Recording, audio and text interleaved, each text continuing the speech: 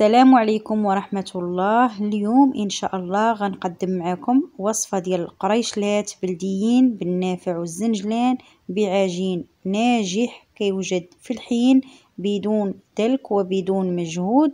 إن شاء الله تنجح معكم الوصفة. بقاو معايا حتى الأخير باش تعرفوا على مراحل تحضير هذه الوصفة وعلى هذا العجين السحري ناجح مئة في المئة ومضمون. إن شاء الله يولي معتمد في وصفاتك. بالنسبة للعجين غادي نحتاجو هنا 600 غرام ديال ال force غنحتاج معاها كاس ديال الحليب كاس لاروب ديال الزيت كاس لاروب ديال السنيدة. الماء دافي باش غادي نكملو إلا خصنا باش نجمعوا العجين. غادي نحتاج هنا خميرة فورية غنحتاج الملح خميرة ديال حلوى أو baking powder هنا غادي نحتاج زنجلان محمر شوية ومنقي ونا نافع. وغادي نحتاج الأبيض ديال البيض العجين. غير باش ما نضيعوش وصافي غادي نحتاجو هنا غادي نحتاج الصفر ديال البيض مع قطرات ديال الحليب لدهن هاد القراشل. وغادي نحتاج لتزيين هاد الشوفان أو الخرطال حبيبات. نقدروا نعوضوه بزنجلان. غادي ندوزو دابا للطريقه ديال التحضير للقريشلات.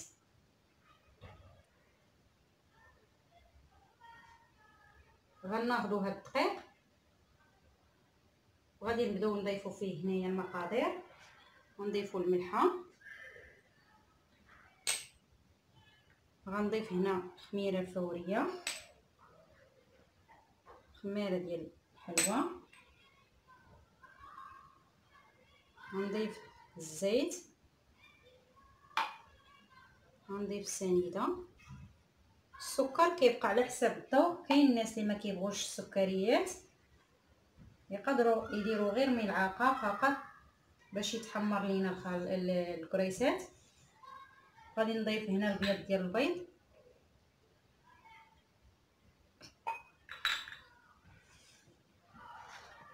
وغادي نخلط هاد المكونات. غادي نضيف هنا الحليب.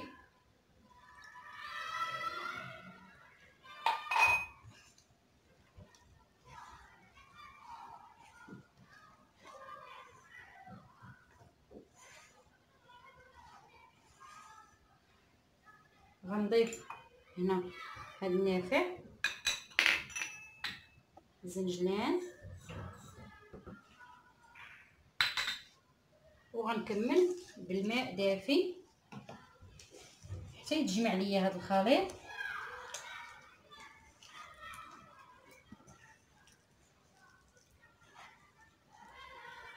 غنجمعوه جيدا بلا ما نحتاجو أننا ندلكوه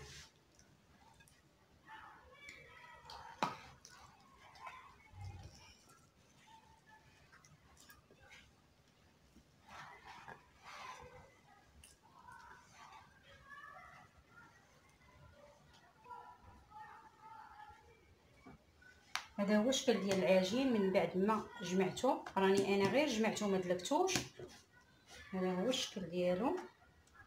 كيكون عجين رطب وما كيلتصقش بزاف في الايد دابا غادي ناخذ أنا هاد البلاستيك الغيبانتي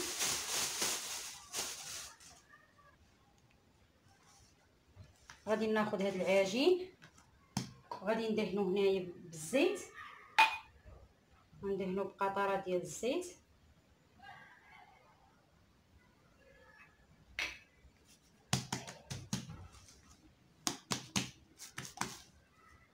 غادي نديرو هنا في البلاستيك.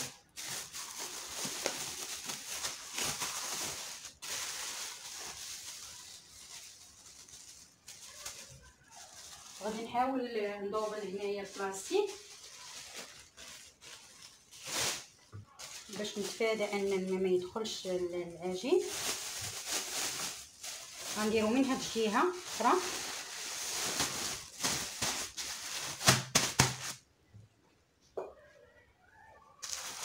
غادي نحطو هنا في هذه الآنية.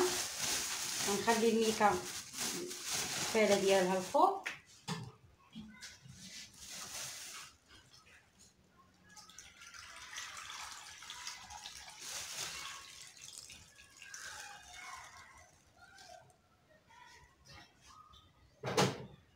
وغادي نخليه يختمر ما غياخدش ليا نهائيا هنا الوقت بزاف. غادي نخليه هنا في الماء يختمر. من بعد ما يختمر نتلاقاو باش نكملوا التتمة ديال الوصفه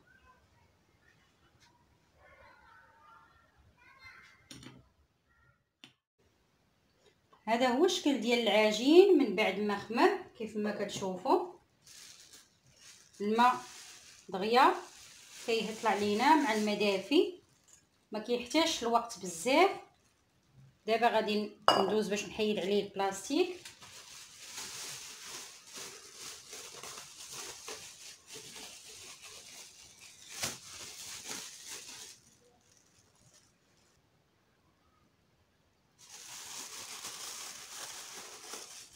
كيف ما كتشوفوا ما دلكتو حتى شي حاجة وشوفوا الشكل ديال العجين كيف عامل. دابا غادي ناخذو غادي نحيد منه هاد الهواء. غندير شوية ديال الزيت.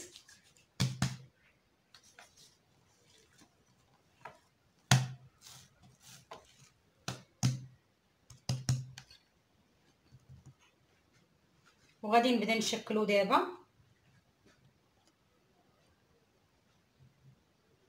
غناخذ العجين وغادي نقسموه على على جوج.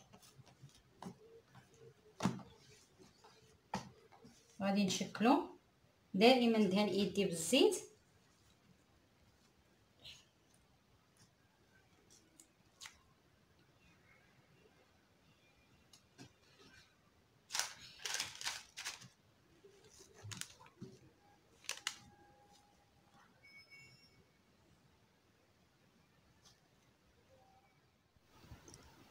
هنا قسمت العجين كل قطع متساوية. وغادي نشكلو على شكل دوائر وغادي نستفوه في الصفيحة ديال الفرن مفرشة ورق الزبدة وغادي نخليه يختمر المره الثانية هنا راه ما غاديش ياخذ ليا الوقت بزاف. نخلوه يختمر ويتضاعف الحجم ديالو ونتلاقاو من بعد ما يختمر. غناخد هنايا الصفر ديال البيض غنزيد عليه قطرات ديال الحليب. باش يحيد لينا الريحة ديال البيض. غادي ندهنو هاد القريشلات ضاعف الحجم ديالهم. غندهنوهم جيدا من الفوق ومن الجوانب باش يعطينا هذاك اللون الذهبي. من بعد ما ندهنهم كاملين غادي نضيف هنايا رقائق ديال الشوفان. نقدروا نديروا الزنجلان أو ال pavot. نقدروا نديروا اللوز effilées أو نكتفيو بهم بهذه الطريقة بلا ما نديروا حتى شي حاجة. أنا هنا اختاريت رقائق الشوفان كيعطي منظر زوين لهاد القريشلات. وأنا راه déjà كيسخن الفران على درجة حرارة عالية. غندخلهم الفران يكون سخون يطيبوا من التحت ونشعل عليهم الفران يتحمروا من الفوق ونتلاقاو من بعد ما يطيبوا وهذا هو الشكل النهائي ديالها من بعد ما طابت. خليتها حتى تحمرات مزيان. وطابت من التحت وشعلت عليها الفران عندي أنا الفران ديال الغاز شعلت عليها من الفوق حتى طابت مزيان تحمرات وخدت. هذا اللون الزوين دابا غادي ندوز باش نوريكم كيفاش جات. جات زوينة ورطبة. كنتمنى نال الإعجاب ديالكم وتجربوها. ما كتاخذش وقت بزاف كيف ما كتشوفوا.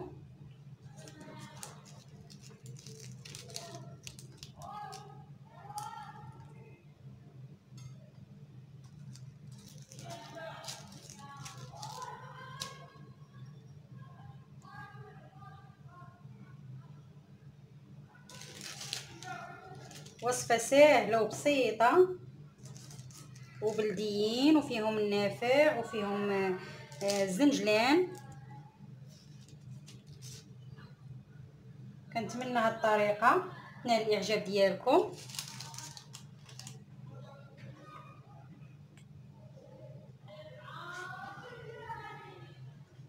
غادي ندوز باش نوريكم الشكل ديالهم من الداخل.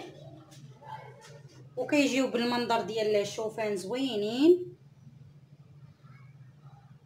هذا هو الشكل ديالهم. كيجيو زوينين ومهويين وعجين ناجح مئة في المئة. كيف ما كتشوفوا كنتمنى هاد الوصفة ديال اليوم. تنال الإعجاب ديالكم وتجربوها. إلا عجباتكم الوصفة ما تنساوش ديروا جيم الفيديو وتشتركوا في القناة تضغطوا على الزر ديال الجرس باش توصلوا بكل جديد. بارطاجيو الفيديو مع الأحباب والأصدقاء وهذه هي نهاية ديال الوصفة. شكرا على الدعم ديالكم وعلى التشجيعات ديالكم والمتابعة ديالكم للقناة. وهذه هي النهاية. كنتمنى أن هذه الوصفات ينالوا الإعجاب ديالكم وتجربوهم. وكنتمنى لكم الصحة وطول العمر. آه، ومع السلامة إلى وصفة قادمة إن شاء الله.